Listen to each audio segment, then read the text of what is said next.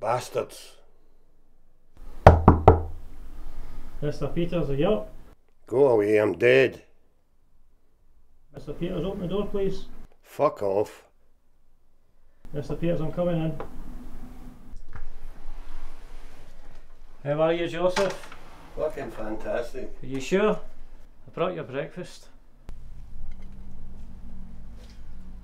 This looks like shite.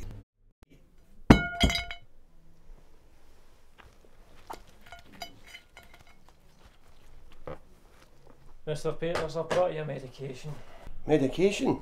Medicine's for women and poofs. With respect, Mr. Peters, you must be the latter then. Your family say you could be quite challenging without your medicine. Don't mention they fucking bastards.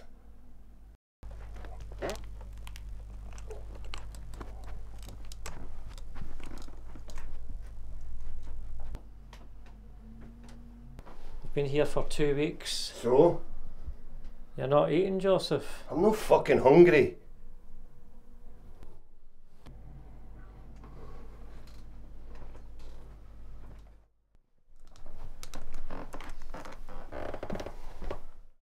Nice record player.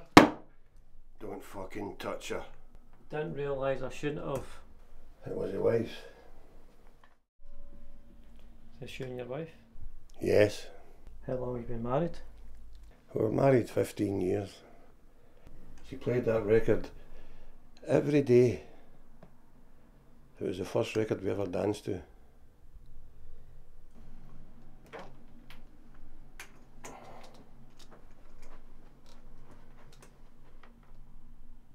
I didn't want to go on without her. She made everything bearable. I think she would want you to be happy. How can I be?